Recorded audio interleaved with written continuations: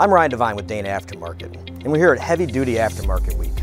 At Dana, we know that older vehicles still have a job to do, and we've now introduced our Spicer Select gearing for the popular D170, D190, and 404 applications.